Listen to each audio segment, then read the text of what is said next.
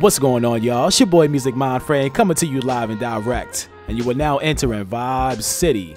And if you haven't already sub to the channel, hit that subscribe button as we've got some banging 2K content on our channel.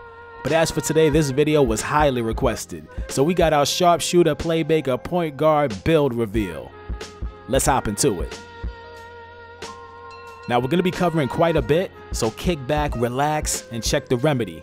Now archetype wise, we're vibing with the sharpshooter.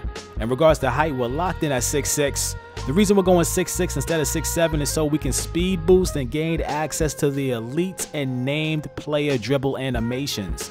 At 6'7, our ball control falls short of the 75 rating requirement, but at 6'6, we're good to go. Max wingspan is a no-brainer here.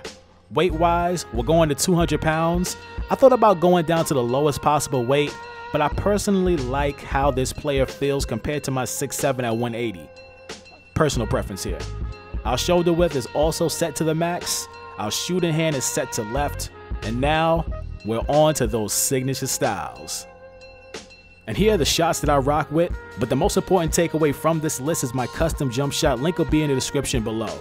Now I've been using this jumper on my playmaking point guard and it's been lights out, straight butter. I've been loving it. Just threw it on my sharpshooter and it's beautiful. Make sure you check it out. I can't stress it enough, guys, all right? Now, the second most important takeaway from this list is the normal 2 hop jumper, which is the fastest hop jumper in the game. This move is great to link into your dribble combos and to get yourself open or to even create for your teammates off the dribble hands down one of the best moves if chained correctly. But onto the signature dunks and layups, and I've been stressing this to many ballers that I've seen in the park. Take off those signature dunks, okay, and those park dunks, and put on the basic one-handers or for one. Reason why is because they're both straight to the point and safe. But I, you know, take it from me. Before I would use the Zach LaVine dunk package and the other park packages, and I would get sent. Now I'm just jamming on everybody when I'm going to the rack. You know, either two hands straight up, left, right, whatever it may be. Now the rim pulls are solid also and they're safe as well. And the cradle dunks, those are just for flair on the fast break. Let's be honest. While the Jamal Crawford layup package is for pure deception. Man, do I love using that move. Coming down the court, you got two defenders in front of you. One hitting with that Jamal Crawford.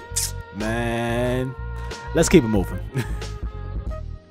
Oh yeah, here we go. This is what everyone loves to check out. Those dribble moves, those signature packages. Make sure you pause here and make those adjustments now, okay guys? I want you guys to get right get your dribble moves down, have all the elite moves so you can get out there and crush it. Now, the most important moves here, in my opinion, are the behind the back elite six, the Kemba Walker rhythm dribble, the James Harden between the leg size up, and the Jamal Crawford behind the back.